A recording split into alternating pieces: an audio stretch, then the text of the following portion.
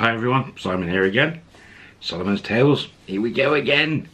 We left it, where was he? He was in the Belgium guy's bar or German or whatever he was. Playing pool. He was asking about jobs in Pattaya. Bar manager jobs. The guy um, has given him a lead. Bar, I think Sharky's bar, where they've played pool competitions. So it's a big, big pool bar. Just down from Dolphin Roundabout on Second Road in the little alley there. Um, so, hmm. Anyway, Solimon finishes playing pool with this guy. Says thanks. Pays his bill. Says see him soon. He says, you know, any more competitions coming up? And the guy's, I'm actually off back home. Um, in a few days, he said, so I don't know. I haven't really bothered.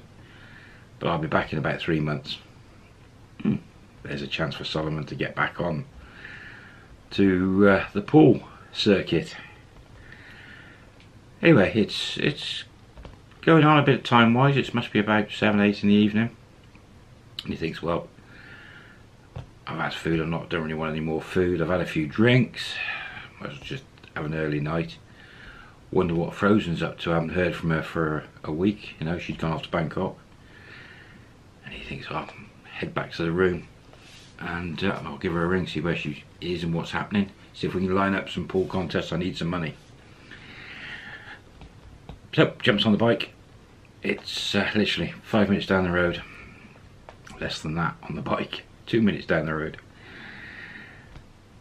Back to the room. So he pulls up, parks the bike up, and the girls are outside, well, outside their old complex in 4, where their room was they're out there on the table. They're eating food. There's the usual deja vu, you know. The motorcycles, person selling food there. And all of them are sat outside. Um, except the go-go girl. She's gone. So, three of them there. Gets off the bike, comes over. Hi. And again, like, in England, what are you doing? Where are you going? I've had food. I've had a drink. Got a crash tired a bit, you know. Okay, okay. Want some food? he's like, nah, nah, nah.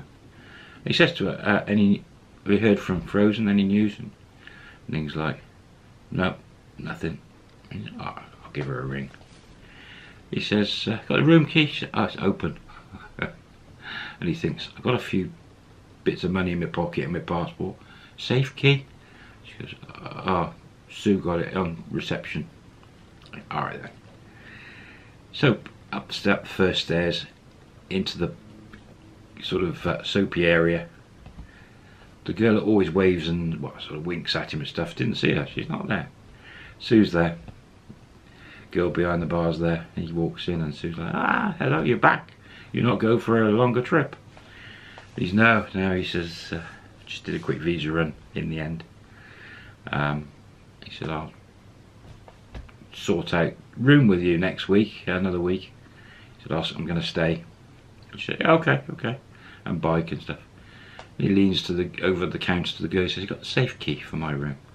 Give him the big key. And like, "You want coffee?" He said, "No, I'm a bit tired. I'm going to crash." He's like, "Oh, all right then." Didn't say much. He had a quick look over his shoulder at the uh, goldfish bowl and stuff, and there's a few girls milling around. No customers in there. Seems quiet. Uh, anyway, so up he goes to his room. And uh, in he goes. Throws his stuff in the safe. He's got that huge key. He thinks, right, I must ring Frozen. So he rings Frozen. And uh, sure enough, she answers. He's like, where are you? What you doing? I'm back in Pattaya. I finished visa run. She said, I'm in Bangkok still um, with boyfriend. She said, my foreign boyfriend's coming over in a few days. She said, I'm going to stay Bangkok, meet him, don't know where we go. And he's like, now you got your room, it's empty. That'd be a good place for the girls to go, wouldn't it? And she's like, yeah.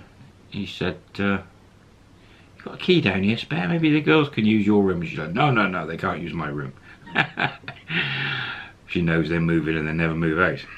She's like, ah, nearly nearly.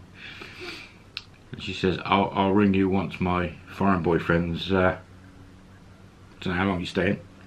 So I'll see you when I see you. And he's like, okay.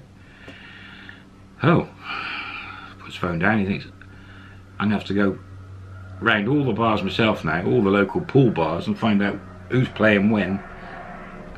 And I'll be on my own, or maybe Ning will come. And he thinks, actually, if I win anything, I get uh, more money in my pocket. So that's good.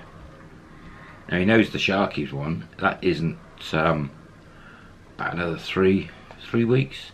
They do it every month. So there should be a few about. Anyway, that's it. He crashes. Early night. Um, he gets woken up a couple of times. Ning coming in. And uh, Red's hair coming in. No M. So, what is it? through the night, they come and go, they come and go. when he woke up in the morning, there was only Ning and red hair there. So, it's still a guy's dream. Oh dear, oh dear, dear, dear. So he's focused. His morning comes, sun's beaming through the windows and waking him up. And he gets up and he's like, oh, you know, shower, throw some clothes on. Thinks, right, on a mission. I've got to find the pool games and I've got to go up to that Sharky's bar and start asking about the manager's job and stuff. Girls are fast asleep as usual. They don't wake up till well late in the morning. Breakfast. Out he goes, bike, straight down. Goes around, he comes back on second road. But this time he goes onto the, uh, must be about somewhere around Soi 6, but on the other side of the road, on second road, as a good English breakfast. Goes up there, gets a full breakfast sets him up for the day. Hard to find a good English breakfast back 15 years ago in Pattaya, but nowadays apparently they're everywhere, which is good. The amount of times he's riding up and down Second Road on that bike, in the loop, and he quite often doesn't even go much further out of that circle. Um, so breakfast done. Now there's no way he's going to go around um, talking to bars about manager's job in the in the daytime. It's got to be late afternoon. And also find him finding the pool competitions. The only way he's going to spot that is if they've got signs up. So he takes a bit of a ride. He actually goes off Buakhao around there and and he takes a ride for about an hour around all the bars. He knows where the tables are. But unless it's on that day, they don't tend to put the signs out. Spots nothing. He thinks, ah, okay he's going to have to go out in the evening and do the same again but without the bike and go to the bars and ask them all as well as go to Sharky's. Busy day.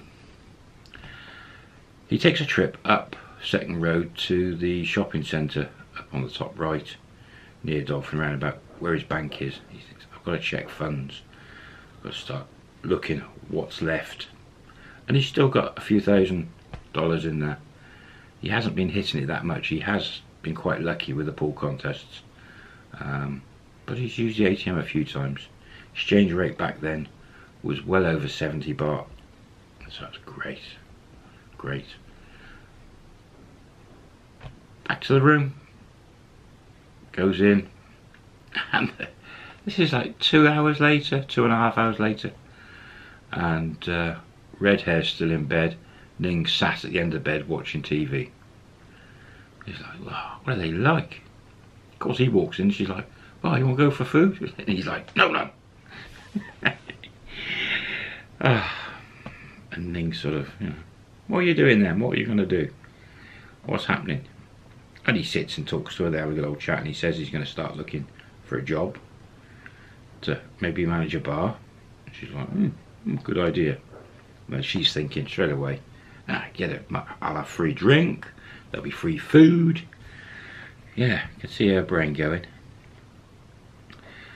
She then says, as well as Frozen's fella's coming over, Ning said her fella is coming in about three weeks' time and he's coming over for a longer period, maybe three months.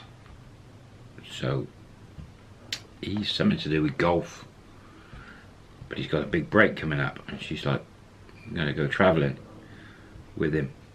He's like, oh, okay, we're going to lose Ning. Frozen's fella's over. I'd be all alone. Not a bad thing, not a bad thing. Chat for a while, and he's like, later on he said, I'm going to go around the bars, find out where the pool matches are, and I'm also going to another bar, I talk about a job. And she's like, oh, I'll come with you tonight, we'll go together. And he's like, I'm not going to get drunk, he said, I'm just going to go all the bars, walk, songthaew, wander around. She's like, yeah, cool. Be nice. Food first though. He's like, yeah, whatever. At this point, he just, I'm gonna have a crash. And he just crashes on the bed, sort of, you know, between them. And quite often you'll find, if uh, if you're staying there a long time, that you will end up having these siestas and afternoon, lunchtime sleeps. Because you start to sort of live at night. You sort of uh, become nocturnal. Um, you do spend late nights as well sometimes. In fact, you can go all night sometimes with bars open and uh, sleep in the daytime. A lot of the girls do this. Then you wake up, have food, and then go back to sleep. So he just crashes. A few hours later, wakes up, Red's disappeared. Ning's still there, still watching TV. Um, and it's the same again. He gets up, shower, throws clothes on, throws some jeans on. His only pair of jeans. Um, food. So, late afternoon, four o'clockish, he says to Ning, right, I'm going to get food, and I'm going to start going around the bars early. Could be a long night. And he's like, yeah, yeah, yeah, I'll just get changed. and So, not 10 minutes, takes her about 30 minutes. Showers, change. And they go off. And he thinks I'm going to go soi 8 is one bar in there that's always got the contests on pretty much every week. Um, I'm to start there.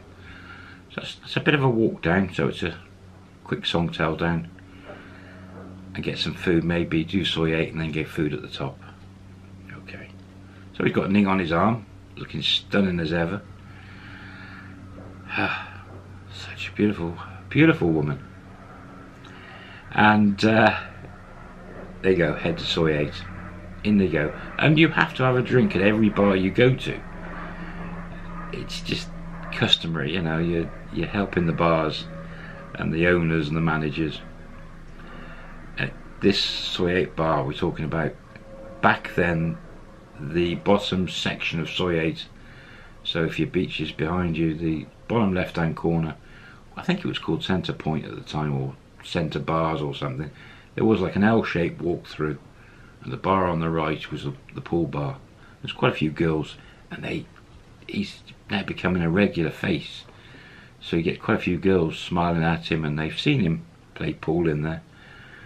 Um, and they're all like winking and smiling and waving, and so yeah, he's getting a bit of a getting known.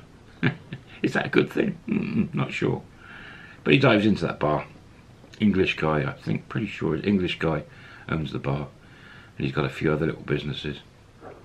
He dives in and he says, Hi, Solimon. How are you? Everything alright? Yep, yep, yep.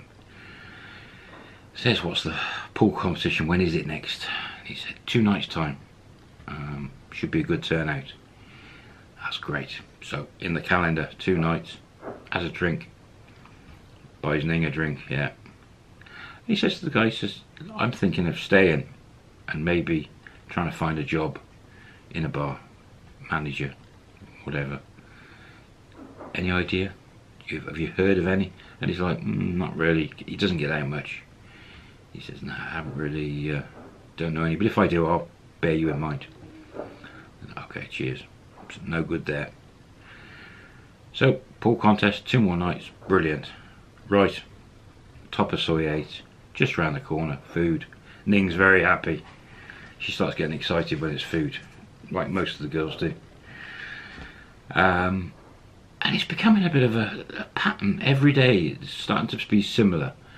And you can get caught in that when you're living there. If you're not careful, you'll get up in the morning, you know, you'll maybe a walk down the beach, you'll get your breakfast, sleep, go out afternoon, have a drink or two, food, sleep, food again, then out hitting the town. It and you can do that every day if you're not careful. I can see how people fall into that before you realise it, you become an alcoholic. Um, get into bad ways, you know.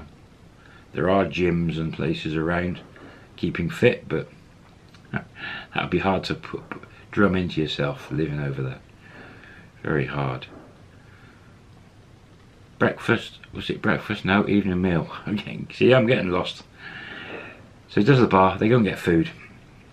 Goes, right, gonna go just along second road and flick right towards Soi Buakhao. There's a couple of bars up there. And it's walking distance, so they walk up. First bar, no sign, pops in, doesn't have a drink. When's the pool on? It's like uh, next week. It's, it's, about four days away, four or five days. Right, mental note. Up the road, only about two, three hundred yards up towards Soi Buakhao, another bar. Goes in, has a drink. So that's two drinks, and it's only early. Their contest is a night after that last one, so that's perfect. So that's three lined up in a week. Okay, that could do. Um, the other bars he can just wander around on on the bike. He, well, there's nothing in the next couple of days. So two drinks down. Listening. Right, I'm going to Sharky's bar to talk to them. Um, I don't really want to take you when I'm looking for the job. It doesn't look good. Said, how about I drop you off at uh, Atlantic Bar and you go see your girlfriends at the bars next door. Rain. Um, and she's like, yeah, okay. He said, maybe once I've done that, I'll come back and get you. Okay. So they back to Second Road, jump in a Songthaew, all the way up. So Atlantic Bar is between soi 2 and soi 4 in the second road end. Stops there, opening gets, and Solimon gets out as well because it's only a couple of hundred metres up towards where the Sharky's bar is. And then up the steps off to see her friends. And uh, Solimon's walking up and he goes over the end of Soi 2. There's just in, remember his room was down there and there's the toilets and the little 7-Eleven. Dives in the 7-Eleven, gets some cigarettes and stuff. Lippo opposite there um, is it opposite there in Soi 2 or just up a bit classroom 2000 go-go I think it was back then so either opposite or in the next little Soi notices that. Walks up. Second road and there's a load of bars on the left. Quite a few packed in there and they go quite deep as well. Looks a nice drinking area and he hasn't really sort of mooched around there much. A lot of girls shouting. Um, shouting hi and come on in for a drink and all this. And like, so he keeps walking. Round the corner, tucks into the Soi, and the shark is on his right hand side. And he goes in. Um, usual people, sees quite a few of the girls, a few of them say hello to him, they recognise him.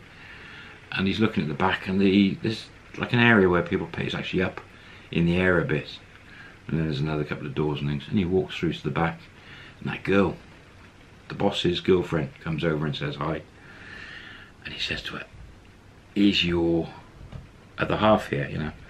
I to ask about some about a job and stuff. She's like mm, okay. Hang on. She goes off into the back comes back and uh, he comes out. He says hi and recognises Solimon and, and a drink and he's like yeah yeah a beer. So they grab a, go over to the one side, there's a little bit of a bar area there. Gets a beer, he says, uh, what are you looking for? He says, I'm trying to, Solimon says, I'm trying to find a bar job. I'd like to stay in Pattaya. You know, um, Belgian guy up the road in Naklua said you might have something or know of something about a go-go job. And the guy, he's like, right, he said, uh, he said, you missed out. He said, the guy, I, I'm part of a couple of go-go bars, he said, as well. When he says part of, I don't know how much of a part of. It's a bit of a group own two or three go-go bars. He says, the go-go bar, a couple of doors down, we've got a guy who's been manager for a year. He's going on his own, starting his own, well, he's working with some other people and they're opening a bar in Walking Street. He says, so he's leaving, but I've got another guy who's part of the group coming in to run the go-go bar. He said, I mean, I can show you, he said, and if that guy doesn't work out, give you a ring and you can try. So I was like, yeah, okay, so no job, but maybe. There's a good lead. Anyway, we'll leave it there. Next video, he's going to the Go-Go Bar with this guy from Sharkies. Can it lead to something else? Maybe. I'll see you on the next video. Bye for now.